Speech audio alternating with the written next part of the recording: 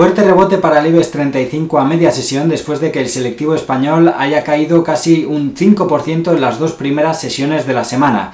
Acabamos de conocer que la zona euro ha entrado en deflación en tasa interanual en el mes de diciembre, lo que según los analistas de Citi da más margen al Banco Central Europeo para acometer un programa de compra de deuda público. La duda del mercado ahora es si lo anunciará en su reunión del próximo 22 de enero o esperará el resultado de las elecciones en Grecia que se celebrarán el 25 de enero. Esa es la pregunta que se hacen muchos inversores en estos momentos. ¿Es hora de invertir ahora en renta variable española? Antes de que se elimine esa incertidumbre sobre Grecia, los analistas de Bankinter consideran que la renta variable europea estará penalizada en el corto plazo, pero afirman que el ciclo económico mejorará en los próximos meses, lo cual apoyará a la renta variable, a las acciones también en España y en Europa, por lo que afirman que no es momento de salir del mercado, sino de construir o reconstruir nuestra cartera en estos momentos.